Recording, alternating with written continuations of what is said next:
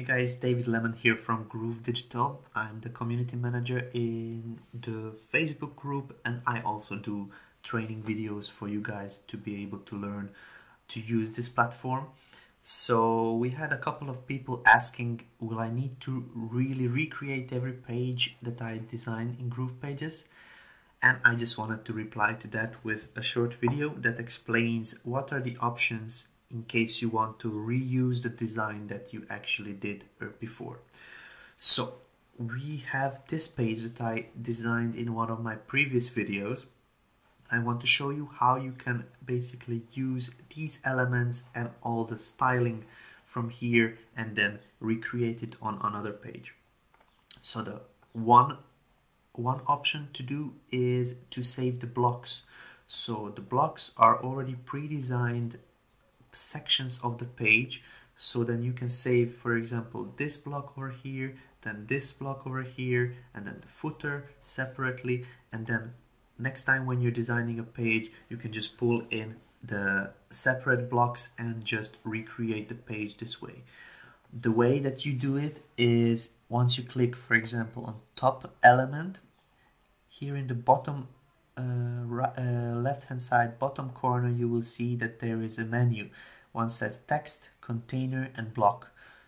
Once you click on the block section you will see that there is a star appearing here in this part.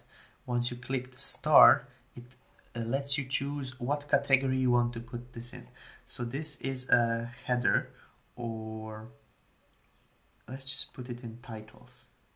Okay so I save and then if I want to reuse it let's say I want to do another section here here with a similar heading I would click here to the blocks. I would click on the titles and this is where the the one that we just saved appear okay? So once I pull this in to my design it is basically the same thing that we have here. So this is a block over here and we just pulled it in from our favorite blocks in case you don't want to have this anymore, it's very simply just click and then it is removed from your titles. Okay, um, this is one way to use blocks to save elements of the page, so the building blocks of the page separately.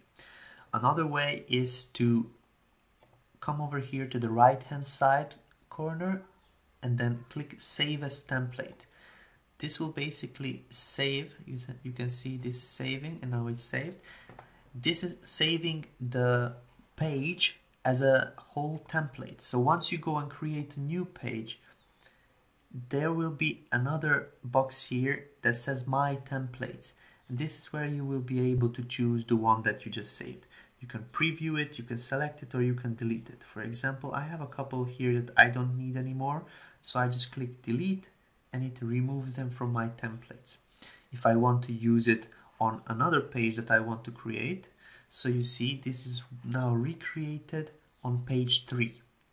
On home I had the same looking page, but now I just recreated it using this save template button. And there is another way, of course, where you can use the same layout on a another site so this was in case you want to stay on the same site and then you want to you want to reuse the design.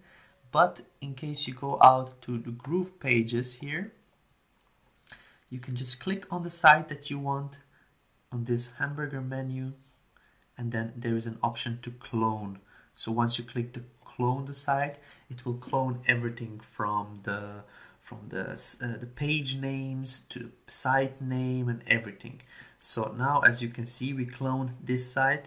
It should have three pages. The third page should look also this way. Perfect. So this is the way guys you can go ahead and then recreate the same designs. You can use them as templates. And then of course one more thing, once you start a new site, you will also have your own templates that you saved previously. You can see this is the one that we just created earlier in this video. So that's it. Uh, this is the way you can recreate your sites using the save as template, save the block or clone the site options. So you don't need to design again and again and again. You just use the design as a template or as a block. So that's it guys, I hope you learned something useful from this video. Please let me know in case you would like me to record additional trainings or tutorials. Just head over to askgroove.net and just type in your request. I will be happy to record it for you. So thank you guys for watching and then see you in the group. Bye bye.